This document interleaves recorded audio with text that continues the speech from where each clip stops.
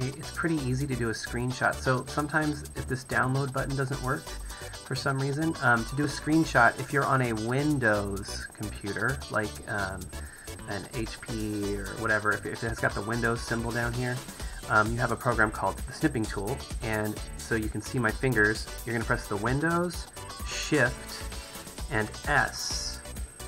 And that turns the screen a gray color. And then you'll see this little crosshair. And you can drag that crosshair over whatever it is you want to screenshot. And just took a screenshot of it. And now I can paste it or save it. Um, there's also a program called the snipping tool. Snipping tool, just type in snip, it'll pop open. You can go to new. I like this because it's the same thing basically. I actually don't even have to use my keyboard this time.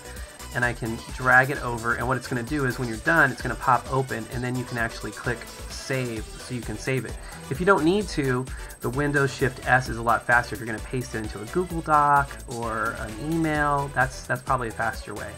But if you're going to save it and use it with another program, I like the snipping, the older snipping tool, um, and being able to save it and then choose where I want to save it, downloads or wherever. Probably in your downloads is going to be a good place for you.